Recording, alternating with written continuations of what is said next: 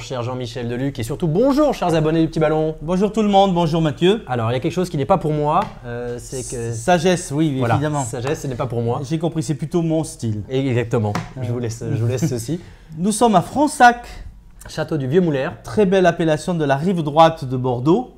Donc euh, moins connue que Saint-Émilion, Pomerol, etc. Mais qui est une vraie belle appellation avec des pentes qui descendent voluptueusement vers la Dordogne et un cépage merlot qui est roi. Tout à fait. Et en 2009. Et un 2009, donc grand millésime, exceptionnel. Et la petite histoire quand même, c'est que ce, ce vigneron est venu à notre boutique et nous a dit comment est-ce qu'on pouvait travailler ensemble. Donc c'est lui qui est encore une fois venu à nous pour, nous, pour essayer de travailler avec lui. Jacques, merci encore de ta fidélité. Voilà, et surtout de venir avec une clé qui ouvre les portes, c'est-à-dire celle du bon vin. Exactement. Bah, on va, à, à nous, à nous d'en juger. Ah ben, nous l'avons sélectionné. Ah oui, on a sur une couleur déjà. Donc là, on commence à avoir un vin qui commence à, à- à prendre un petit peu d'évolution avec des notes euh, rubis qui tournent vers le grenat, des reflets qui sont le début de orangé, etc.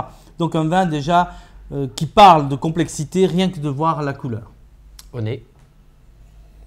Ça se confirme avec des notes de fruits très mûrs, cerise, confiture de cerise, confiture pruneau également. Gourmand. On a vraiment envie de. cassis, euh, vraiment fruité, des notes un peu poivrées, d'encens également, de vanille, de poivre, chocolaté. Donc on a vraie, vraie, vraie complexité. Chocolat, c'est parce qu'on est arrivé. on- il, a, il a un il peu, commence il a un peu d'âge, c'est un ça. peu d'âge et il commence à avoir cette note euh, co- chocolatée qui, qui est particulièrement agréable. En bouche.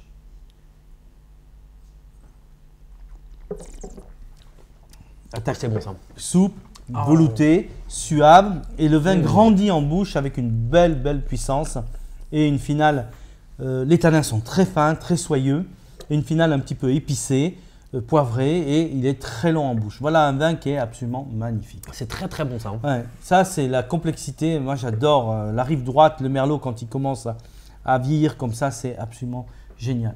Et ça, du coup, on va, on, on va le faire quoi? Sur un repas, bien évidemment. Alors là, c'est tout un repas, une cuisine un petit peu plus sophistiquée. On peut aller sur une viande rôtie, un filet de bœuf, une viande en croûte, un carré d'agneau, quelques gibiers, une viande un petit peu travaillée. On projette on va pas aller jusqu'aux Mmh. truffes, ça vaut trop cher, mais euh, quelque chose de truffé, ça serait merveilleux aussi. Il faut parfois euh, savoir mettre les bonnes choses avec le bon vin. Euh, Voilà. Non, c'est très très bon. Et donc 2009, là, on, on y est, on est, on est, on c'est un. C'est un vin qui arrive tranquillement à son apogée, donc on va pouvoir le garder à cet état- comme ça pendant un an, deux ans. Puis après, il va continuer à, à évoluer, hein, 4-5 ans sans aucun souci. Voilà, mais je trouve qu'aujourd'hui, c'est un vin sublime à boire euh, dès maintenant. Demi-heure de carafage sans plus. D'accord. Mais en tout cas, c'est vraiment très très très bon. Euh, enfin, Sagesse 2009, Château du Vieux Moulaire, très belle trouvaille et euh, enfin, Et surtout, une belle appellation Fronsac, ne pas oublier. bravo euh, à Jacques Favier. Merci beaucoup. À très bientôt. À très Au revoir bientôt. et bonne dégustation.